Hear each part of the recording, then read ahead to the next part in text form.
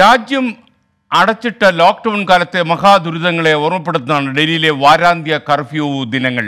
തെരുവുകൾ പോലും അഭയമല്ലാതായ ഭിക്ഷാടകരും ദിവസവേതന തൊഴിലാളികളും റിക്ഷ തൊഴിലാളികളും മഹാമാരിയുടെ രണ്ടാം വ്യാപനത്തിൽ ഒരിക്കൽ കൂടി ദുരിതത്തിലായി. മഹാമാരിയിൽ വിറങ്ങലിച്ചു നിൽക്കുന്ന രാജതലസ്ഥാനം വാരാന്ത്യ കർഫ്യൂവിന്റെ ആദ്യ ദിനത്തിൽ ഇങ്ങനെ.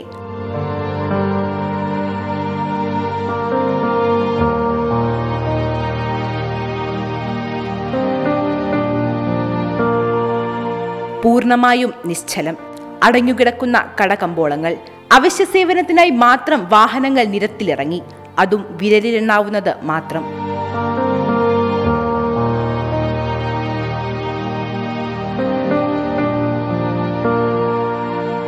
തെരുവിന്റെ മക്കൾ ഒരു നേരത്തെ ഭക്ഷണത്തിനായി വലഞ്ഞു. ആളുകൾ പുറത്തിറങ്ങാത്തതിനാൽ ഭക്ഷണം യാചിക്കാൻ പോലും ഈ പാവങ്ങൾക്ക് സാധിച്ചില്ല.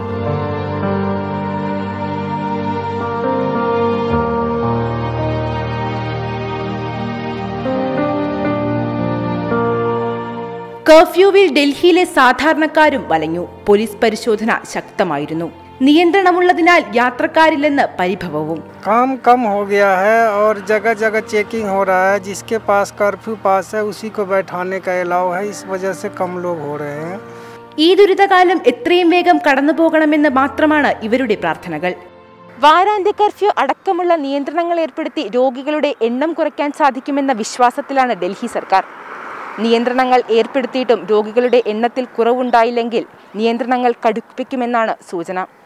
ക്യാമറമാൻ ജോഗേഷ് സിംഗിനോടൊപ്പം Lakshmi Suresh twenty Delhi. Thank you Lakshmi Suresh. Lakshmi പറയുന്നത് പോലെ നമ്മുടെ ഇവിടെയും നിയന്ത്രണങ്ങൾ നമുക്ക് പാലിക്കാൻ കഴിയാതെ പോയാൽ ഇങ്ങനെ വാരാന്ത്യ കർഫ്യൂ ഇങ്ങനെയൊക്കെയുള്ള സംഭവങ്ങളിലേക്കൊക്കെ നമ്മൾ പോകേണ്ടി വരും. നമ്മൾ ആരെയും കുറ്റപ്പെടുത്താതെ ഈ നിയന്ത്രണങ്ങളും കോവിഡ് പ്രതിരോധ പ്രോട്ടോക്കോളുകളും അതേപോലെ തന്നെ പാലിച്ച് മുന്നോട്ട് പോവുക. ഒരുപാട് മുൻകരുതലുകൾ സ്വീകരിക്കണം. പ്രത്യേകിച്ച് ഈ ജനിതക മാറ്റുന്ന വൈറസാണ് സ്പ്രെഡ് ചെയ്യുന്നത് എന്നൊക്കെ വാർത്തകൾ വരുമ്പോഴും ഇതിനൊക്കെ ശാസ്ത്രീയമായ ഗവേഷണത്തിന്റെ പിൻബലമുണ്ടോ എന്ന കാര്യത്തിൽ പല ഡോക്ടേഴ്സിനെ പോലെ എനിക്കും സംശയമുണ്ട്.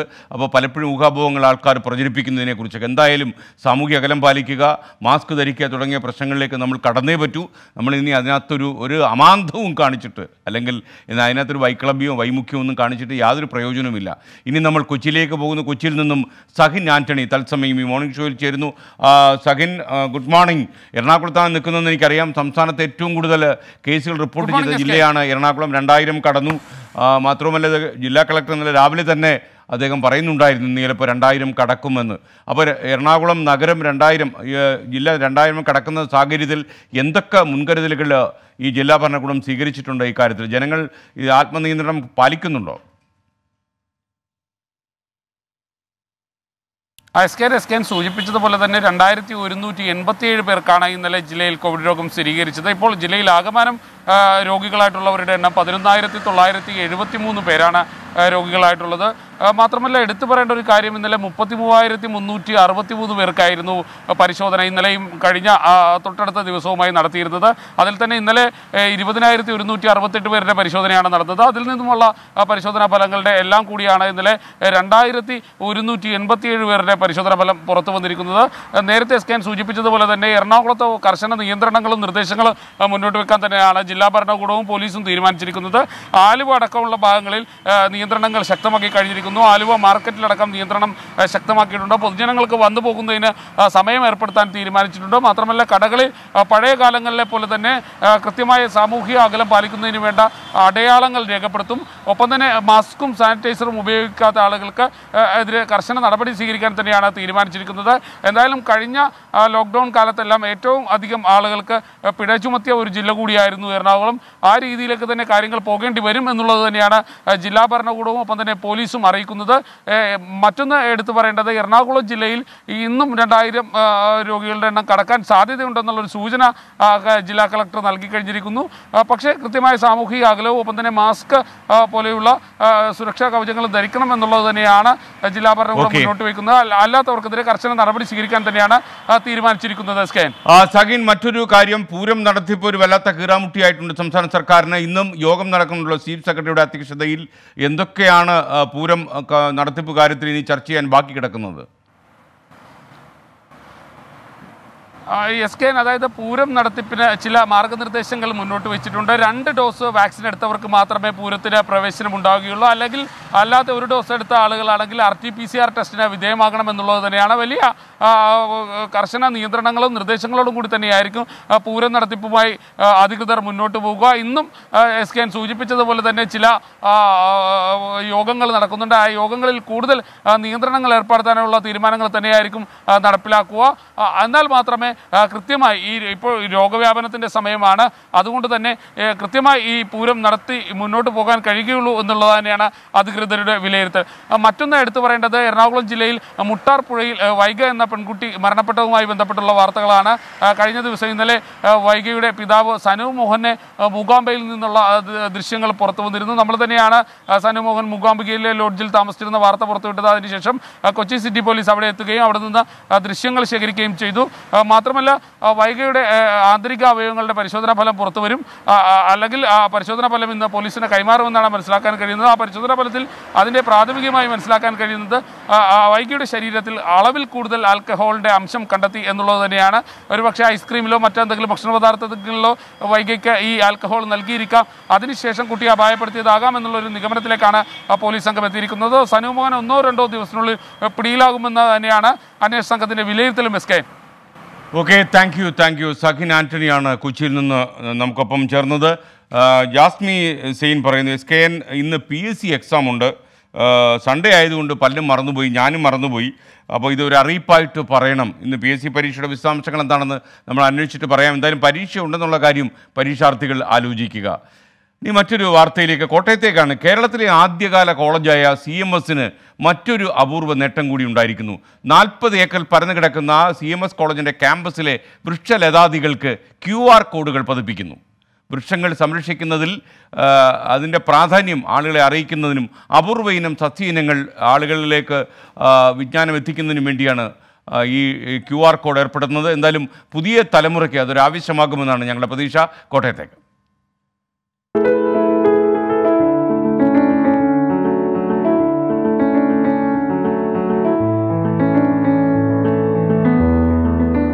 ഇരുന്നൂറ്റിനാല് വർഷം പ്രായമുള്ള കലാലയ മുത്തച്ഛിയുടെ മടുത്തട്ടിലെ അപൂർവയിനം സസ്യലതാദികൾ എണ്ണിയാൽ തീരുന്നതല്ല. ഏഴ് വർഷമെടുത്താണ് വൃക്ഷങ്ങൾ ഏഴ് സ്പീഷീസിൽപ്പെട്ടവയാണെന്ന് കണ്ടെത്തിയത്. അഞ്ഞൂറ്റി അറുപതിനം മരങ്ങളാണ് ഈ ക്യാമ്പസിലുള്ളത്.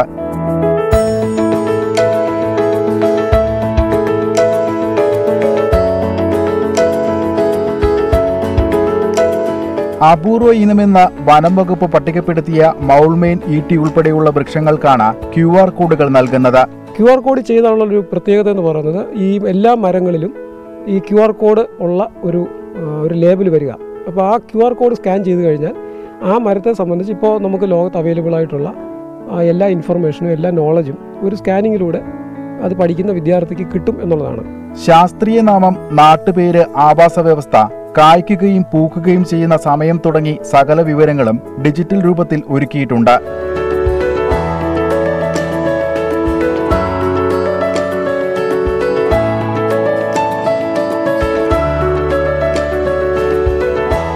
ഇരുന്നൂറ് വർഷം പ്രായമുള്ള ക്യാമ്പസിൽ അത്രയും തന്നെ പ്രായമുള്ള മരങ്ങളുമുണ്ട്. കൃത്യമായി വയസ്സ് നിർണയിക്കാൻ കാർബൺ ഡേറ്റിംഗും ഉടൻ നടത്തും. ബൊട്ടാണിക്കൽ ഗാർഡനുകളിൽ പോലും ഇല്ലാത്ത അപൂർവ ഇനം സസ്യങ്ങളാണ് ഇരുന്നൂറ് വർഷത്തിലധികം പാരമ്പര്യമുള്ള ഈ കലയലത്തിലുള്ളത്. ഇവ ഡിജിറ്റൽ രൂപത്തിൽ പുതുതലമുറയിലേക്ക് എത്തിക്കുക എന്നതാണ് ഈ ഉദ്യമത്തിന്റെ ലക്ഷ്യം. Manish V എസിനൊപ്പം C G Diljith twenty four Kottayam. എന്തായാലും നല്ലൊരു ദൗത്യമാണ് കോട്ടയം സി എം എസ് ഏർപ്പെടുത്തി ഏറ്റെടുത്തിരിക്കുന്നത്. മുന്നോട്ട് പോകട്ടെ അവർ കാരണം ഭാവി തലമുറ പുതിയ തലമുറയിലേക്ക് ഇതിന്റെയൊക്കെ വിശദാംശങ്ങൾ കൊണ്ടുവരിക എന്ന് പറഞ്ഞാൽ ചെറിയ കാര്യമല്ല. നമ്മൾ പലതും മനസ്സിലാക്കുമ്പോഴാണ് നമുക്കതിന്റെ പ്രാധാന്യം മനസ്സിലായി ഇപ്പോൾ ആളുകൾ അവഗണിച്ചിട്ടിരുന്ന ഒരു സാധനമാണ് ചക്ക എന്ന് പറയുന്നത്. ഇപ്പോൾ ചക്ക ത്രീ സിക്സ്റ്റി പോലുള്ള വെബ്സൈറ്റുകളൊക്കെ വന്നു. ഇപ്പോൾ ചക്ക ലോകപ്രസിദ്ധമായിരിക്കുന്നു. ചക്ക എന്തെല്ലാം നല്ല കാര്യങ്ങൾ ശരീര പുഷ്ടിക്കുൾപ്പെടെ ചക്ക എന്തെല്ലാം ഗുണങ്ങൾ ചെയ്യുന്നു എന്ന് ഇപ്പോഴാണ് ആളുകൾ മനസ്സിലാക്കുന്നത്. ഇപ്പം ഒരു ചക്ക വിപ്ലവം നടക്കുന്ന കാലമാണ്. പിന്നെ പി എസ് സി പരീക്ഷ. ഒരു ഒരു പ്രേക്ഷക എഴുതിയിരുന്നു പി എസ് സി പരീക്ഷയുടെ കാര്യം പറഞ്ഞു പി എസ് സി പരീക്ഷയുണ്ട്. രണ്ടര ലക്ഷം ആളുകൾ ഇന്ന് പി എസ് സി പരീക്ഷ ദിവസമാണ്. ഹയർ സെക്കൻഡറി അടിസ്ഥാന യോഗ്യതയാക്കിയിട്ടുള്ള പൊതുപരീക്ഷയാണ് ആ, അത്തരം തസ്തികകളിലേക്കുള്ള പൊതുപരീക്ഷയാണ് ഇന്ന് നടക്കുന്നത്. അപ്പോൾ കോവിഡ് മാനദണ്ഡങ്ങളൊക്കെ പാലിച്ച് തന്നെയാണ് പരീക്ഷ നടക്കുക. അപ്പോൾ മറന്നു പോകണ്ട. ഇന്ന് ഞായറാഴ്ചയാണെന്ന് കരുതി മറന്നിരിക്കുന്ന ആളുകളെയൊക്കെ ഒന്ന് ഓർമ്മിപ്പിക്കുന്നു അവരൊക്കെ ഒന്ന് എഴുന്നേറ്റ് റെഡി ആയിക്കോളൂ. പി എസ് സി പരീക്ഷ ഉണ്ട്. ഇനി നമ്മൾ കോഴിക്കോടേക്കാണ്. കോഴിക്കോട് നിന്ന് സിനോജ് തോമസ് നമുക്കൊപ്പം ചേരുന്നു. സിനോജ് ഗുഡ് മോർണിംഗ് സിനോജ് സിനോജ് യഥാർത്ഥത്തിൽ എറണാകുളം ജില്ല കഴിഞ്ഞാൽ പിന്നെ ഏറ്റവും കൂടുതൽ കോവിഡ് പോസിറ്റീവായ രോഗികൾ ഇന്നലെ കോഴിക്കോട് ജില്ലയിലായിരുന്നു. അപ്പോൾ യഥാർത്ഥത്തിൽ കോഴിക്കോട് ചെറിയൊരു അങ്കലാപ്പിലാണ് എന്ന് ഞാൻ മനസ്സിലാക്കുന്നു. എന്തൊക്കെ കോവിഡ് പ്രോട്ടോകോൾ മാനദണ്ഡങ്ങളും കർശന നടപടികളുമാണ് കോഴിക്കോട് ജില്ലാ ഭരണകൂടം ഇപ്പോൾ സ്വീകരിച്ചിരിക്കുന്നത്? S K N very good morning Kozhikode lockdown ഇല്ല. പക്ഷേ ലോക്ക്ഡൗണിന് സമാനമായ കടുത്ത നിയന്ത്രണങ്ങളാണ് ഈ പ്രത്യേകിച്ച് ഞായറാഴ്ചകൾ ഏർപ്പെടുത്തിയിരിക്കുന്നത്. ഇന്നലെ വൈകുന്നേരമാണ് ജില്ലാ കളക്ടർ ഉത്തരവിറക്കിയത്. അതായത് ഇന്ന് മുതലുള്ള ഇനി എല്ലാ ഞായറാഴ്ചകളിലും പൊതുസ്ഥലത്ത് അഞ്ചിൽ കൂടുതൽ ആളുകൾക്ക് പുറത്തിറങ്ങാൻ സാധിക്കില്ല കൂട്ടം കൂടി നിൽക്കാൻ സാധിക്കില്ല. അതോടൊപ്പം തന്നെ അവശ്യ മേഖലയിലുള്ള കടകൾക്കും സ്ഥാപനങ്ങൾക്കും മാത്രമേ തുറക്കാൻ അനുമതിയുള്ളൂ. അത് ഏഴ് മണിവരെ മാത്രമേ പ്രവർത്തിക്കാൻ പാടുള്ളൂ.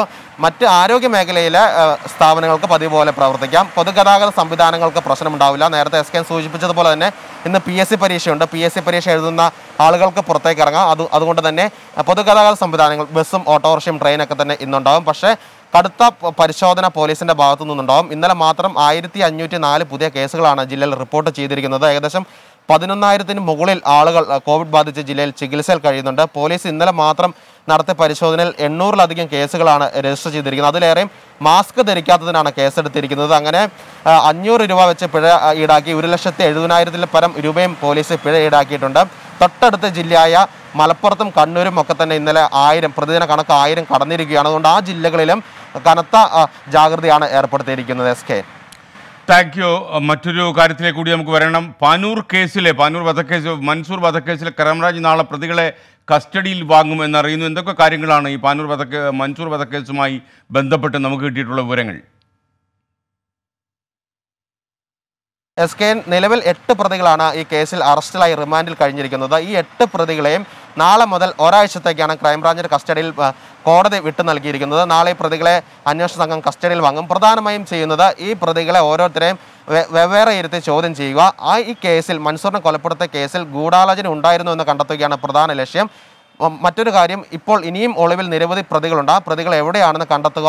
ഒരു നിർണായക മൊഴി ഈ പ്രതികളിൽ നിന്ന് ലഭിക്കുന്ന പ്രതീക്ഷയിലാണ് അന്വേഷണ സംഘം. അതുകൊണ്ട് തന്നെ ഈ ഏഴ് ദിവസത്തെ കസ്റ്റഡി സമയത്ത് പ്രധാനമായും പ്രതികളെ ചോദ്യം ചെയ്യാനായിരിക്കും അന്വേഷണ സംഘം സംഘം ഉപയോഗപ്പെടുത്തുക. അതോടൊപ്പം തന്നെ മൻസൂറിനെ കൊലപ്പെടുത്തിയ സ്ഥലത്ത് എത്തിച്ച് തെളിവെടുക്കേണ്ട ഒരു നടപടിക്രമം കൂടെ ബാക്കിയുണ്ട്. ഈ വരും ദിവസങ്ങളിൽ ആ സ്ഥലത്ത് പ്രതികളെത്തിച്ച് പ്രത്യേകിച്ച് ഒന്നാം പ്രദേശ് ഷിനോസിനൊക്കെ ആ സ്ഥലത്ത് എത്തിച്ച് തെളിവെടുക്കാനുള്ള സാധ്യതയുമുണ്ട്. S K. Thank you Sinoj Thomas ആണ് നമുക്കൊപ്പം കോഴിക്കോട് നിന്ന് ചേർന്നത്. അബ്ദുൽ ഖാദർ ചോദിക്കുന്നു ഒന്നോ രണ്ട് ദിവസത്തിനകം സനു മോഹനെ പിടിക്കുമെന്ന് പറയുന്നത് അദൃശ്യ ജ്ഞാനം കൊണ്ടാണോ? അദൃശ്യ ജ്ഞാനമൊന്നുമല്ല. ഇതൊക്കെ ചിലപ്പോൾ ചില സോഴ്സുകൾ ഉപയോഗിച്ച് കിട്ടുന്ന ചില വെളിപ്പെടുത്തലുകളാണ് അബ്ദുൽ ഖാദർ. ഈ മാധ്യമപ്രവർത്തനം തന്നെ ഏകദേശം അങ്ങനെയാണ് പ്രവർത്തിക്കുന്നത്. ഇപ്പം എത്ര യഥാർത്ഥത്തിൽ ഈ അന്വേഷണ സംഘം ഒരു കാര്യവും വെളിയത്തിൽ പറയില്ല എന്ന് പറഞ്ഞാൽ പോലും ചില സോഴ്സുകൾ നമ്മൾ തീർച്ചയായിട്ടും ഉപയോഗിക്കും. ആ സോഴ്സുകൾ കിട്ടുന്ന ഇൻഫർമേഷനെ ആശ്രയിച്ച് അതും റിലയബിളായിട്ട് നമുക്ക് ആശ്രയിക്കാവുന്ന സോഴ്സുകളുണ്ട് ആശ്രയിക്കാൻ പറ്റാത്ത സോഴ്സുകളുണ്ട് ആശ്രയിക്കാവുന്ന സോഴ്സുകളിൽ നിന്ന് കിട്ടുന്ന ചില സൂചനകളാണ് ഇത്തരം വാർത്തകൾ പറയാൻ നമ്മുടെ റിപ്പോർട്ടേഴ്സിനെ പ്രേരിപ്പിക്കുന്നതെന്ന് താങ്കൾ മനസ്സിലാക്കുക. ബിപിൻ കൃഷ്ണദാസ് എനിക്ക് കോവിഡ് കാലത്ത് ഒരു ജോലി പറഞ്ഞു തന്നിരിക്കുന്നു. എസ് കെ എൻ കപ്പ് കച്ചവടം തുടങ്ങുന്നത് നല്ലതാണ് സാമ്പത്തിക പ്രതിസന്ധിയിൽ താങ്കൾ രക്ഷപ്പെടുമെന്നാണ് ബിപിൻ കൃഷ്ണദാസ് പറയുന്നത്. ബിപിൻ കൃഷ്ണദാസ് ഇതുപോലുള്ള പല പരിപാടികളും നമ്മൾ ഈ കോവിഡ് കാലത്ത് തുടങ്ങേണ്ടി വരും. അങ്ങനെയാണ് കാര്യങ്ങളുടെ പോക്ക്. ഇത് രണ്ടാം വരവാ. രണ്ടാം വരവിൽ എന്തൊക്കെ സംഭവിക്കും നമുക്ക് അറിയില്ലല്ലോ സുഹൃത്തെ. ഇനി നമുക്കൊരു കാര്യം ചെയ്യാം മറ്റൊരു കൗതുകം നിറഞ്ഞ വാർത്തയിലേക്ക്. മലയാള സിനിമ സീരിയൽ രംഗത്ത് ആർട്ട് ഡയറക്ടറായി പ്രവർത്തിക്കുന്ന പ്രശാന്ത് അമരവള്ളിയുടെ വീട്ടിലെത്തിയ ആരും ഒന്ന് അത്ഭുതപ്പെടും. കുഞ്ഞൻ പാർക്ക് മുതൽ ആർട്ട് ഗാലറി വരെ പ്രശാന്തിന്റെ വീട്ടിൽ തയ്യാറായിട്ടുണ്ട്. പാഴ്വസ്തുക്കൾക്ക് പോലും പുതിയ മുഖം നൽകിയാണ് മുറികൾ അലങ്കരിച്ചിരിക്കുന്നത്. ആ ആ വീടിന്റെ അത്ഭുതങ്ങളിലേക്ക്. Prashanth Amaravila scene number eighteen shot number two take number one ഇതാണ് പ്രശാന്തിന്റെ അത്ഭുത വീടിന്റെ വിലാസം. നാല് ചുവരുകൾക്കുള്ളിൽ ഒരുക്കിയിരിക്കുന്നതാവട്ടെ കണ്ടാൽ തീരാത്ത അത്ര കാഴ്ചകളും.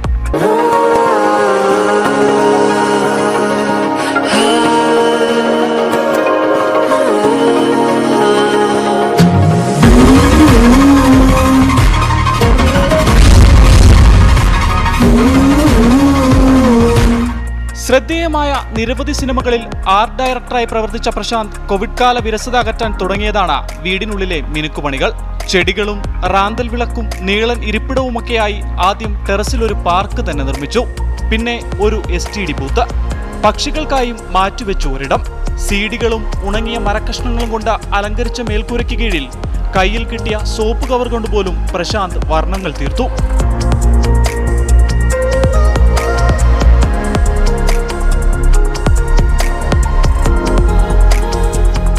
ബോക്സ് പോലും എന്തെങ്കിലുമൊക്കെ ചെയ്ത് വെക്കും. പിന്നെ ഈ പാഴായിട്ട് കരുന്ന ഈ മരച്ചില്ലകൾ അതിലൊക്കെ എന്തെങ്കിലുമൊക്കെ ക്രിയേറ്റീവായിട്ട് ചിന്തിച്ച് എന്തെങ്കിലും ക്രിയേറ്റീവായിട്ട് അവ എന്തെങ്കിലും ഉണ്ടാക്കി വെക്കും. ചുവർ നിറയെ പെയിന്റിങ്ങുകളും ചലച്ചിത്ര താരങ്ങൾക്കൊപ്പമുള്ള ചിത്രങ്ങളും കോയിൻ ശേഖരവും ഉപയോഗശൂന്യമായ കവറുകളും എന്തിനേറെ പറയുന്നു? വാളും പരിചയം ഒക്കെ കൊണ്ടാണ് അലങ്കരിച്ചിരിക്കുന്നത് ഒറ്റനോട്ടത്തിൽ ഇതൊരു വർക്ക്ഷോപ്പാണോ എന്ന് പോലും തോന്നിപ്പോകും. യഥാർത്ഥത്തിൽ അതിനകത്ത് എന്തൊക്കെ ഉണ്ടെന്ന് എനിക്ക് ഞാൻ തന്നെ നോക്കി തീർ തീർന്നിട്ടില്ല. അത്രയ്ക്ക് അവന് എല്ലാ കൂടുതലും പഴയ വസ്തുക്കളുടെയാണ് താല്പര്യം. പക്ഷെ പഴമയുള്ള എല്ലാം ആയിരിക്കണം അങ്ങനെ. അല്ല പുതിയതിനോട് അത്ര ഇതില്ല. എല്ലാം പഴയ വസ്തുക്കളായിരിക്കണം. അതൊന്നും കളയുന്നൊന്നും ഇഷ്ടമില്ല. സിനിമാ തിരക്കുകളിലേക്ക് വീണ്ടും പ്രശാന്ത് മടങ്ങി. ഇനി അടുത്ത വരവിൽ എന്ത് അത്ഭുതമാണ് പ്രശാന്ത് ഒരുക്കാൻ പോകുന്നതെന്ന ആകാംക്ഷയിലാണ് കുടുംബവും സുഹൃത്തുക്കളും. Vipin വേളിക്കൊപ്പം Mahesh John Mathew twenty four Thiruvananthapuram.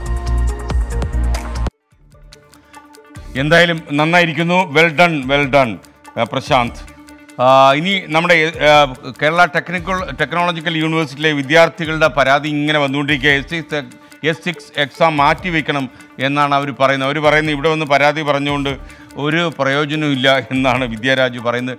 Vidyaraj നമുക്ക് പറയാവുന്ന ദിവസങ്ങളിലൊക്കെ തന്നെ നമ്മൾ എസ് സിക്സ് എക്സാം മാറ്റുന്നതിനെക്കുറിച്ച് പറഞ്ഞിട്ടുണ്ട്. പ്രത്യേകിച്ച് ഈ കോവിഡ് വ്യാപനം രൂക്ഷമാകുന്ന സാഹചര്യത്തിൽ നിങ്ങളുടെ കാര്യം സർവകലാശാല പരിഗണിക്കുമെന്ന് തന്നെയാണ് നമ്മുടെ വിശ്വാസം. കാരണം കുട്ടികൾ കൂട്ടം ചേർന്ന് പരീക്ഷ എഴുതിയാലും ഈ കോവിഡ് വ്യാപനത്തിന് സാധ്യതയുണ്ട് എന്നതുകൊണ്ട് തന്നെ ഗൗരവമായിട്ട് അവർ പരിഗണിക്കുമെന്നാണ് വിശ്വാസം. അപ്പോൾ നിങ്ങളോട് നമുക്കല്ല സർവകലാശാലയുടെ തീരുമാനങ്ങളിൽ മാധ്യമത്തിന് കയറി ഇടപെടാൻ കഴിയില്ല. നമുക്ക് പറയുക മാത്രമേ ചെയ്യാനാകൂ എന്നുള്ള കാര്യം നിങ്ങൾ ദയവ് ചെയ്ത് തിരിച്ചറിയുക. വെൽക്കം ബാക്ക് പ്രിയപ്പെട്ട പ്രേക്ഷകരെ. ഇപ്പോൾ സമയം ഏഴ് മണി കഴിഞ്ഞ് അൻപത്തി ഒൻപത് മിനിറ്റ് ഇന്ന് ഞായറാഴ്ച നല്ലൊരു ഞായറാഴ്ച നിങ്ങൾക്ക് എല്ലാവർക്കും നേരുന്നു നിങ്ങൾക്കറിയുന്ന പോലെ രാജ്യത്തെ ചില സംസ്ഥാനങ്ങളിലൊക്കെ തന്നെ വാരാന്ത്യ കർഫ്യൂ ഏർപ്പെടുത്തിയിരിക്കുന്നു. അതിലൊന്നാണ് രാജസ്ഥാൻ അവിടെ നിന്ന് ഞങ്ങളുടെ പ്രതിനിധി കെ അനിൽകുമാർ അറിയിക്കുന്നു. രാജസ്ഥാനിൽ കൊറോണ നിയന്ത്രിക്കുന്ന ഏർപ്പെടുത്തിയ വാരാന്ത്യ ലോക്ക്ഡൗൺ സംസ്ഥാനത്ത് അവശ്യ സർവീ സർവീസുകൾ ഒഴിയുള്ള എല്ലാ സ്ഥാപനങ്ങളും അടഞ്ഞുകിടക്കാൻ കാരണമാക്കുന്നു പോലീസ് ഡ്രോൺ ഉപയോഗിച്ച് ശക്തമായ പരിശോധനയും രാജസ്ഥാനിലുടനീളം നടത്തുന്നതെന്നാണ് കെ അനിൽകുമാർ അവിടെ ജയ്പൂരിൽ നിന്ന് റിപ്പോർട്ട് ചെയ്യുന്നത്. അപ്പോൾ താങ്ക് യു അനിൽകുമാർ. ഈ യഥാർത്ഥത്തിൽ ഡ്രോൺ ഉപയോഗിച്ച് സ്ഥാപനങ്ങൾ അടച്ചിടുന്നതിനല്ല താങ്ക്സ് താങ്കൾ ഇത് അയച്ചു തന്നതിനാണ് നന്ദി.